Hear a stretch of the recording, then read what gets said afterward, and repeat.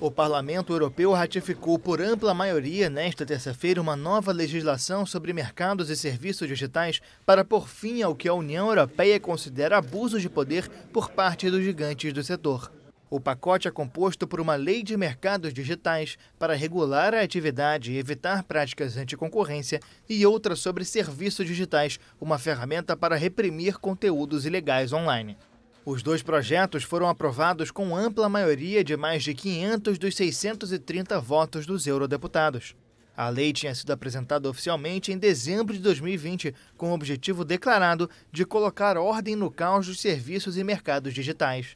A intenção da União Europeia é regular a atividade do grupo conhecido como GAFAM Google, Apple, Facebook, Microsoft e Amazon ainda que também inclua empresas como Booking.com, de reservas online, a rede social TikTok, entre outros. O ponto crítico da proposta é a definição de critérios para classificar uma plataforma como sistêmica ou guardiã em empresas grandes a ponto de eliminar a concorrência e atuar basicamente à margem das regulamentações vigentes. As empresas que se enquadrarem na definição vão ser auditadas anualmente por órgãos independentes e vão permanecer sob a supervisão da Comissão Europeia. A legislação também estabelece um controle sobre todas as operações de compra desses gigantes para limitar o acúmulo de inovação de startups e evitar as aquisições que as empresas fazem de outras para acabar com a concorrência.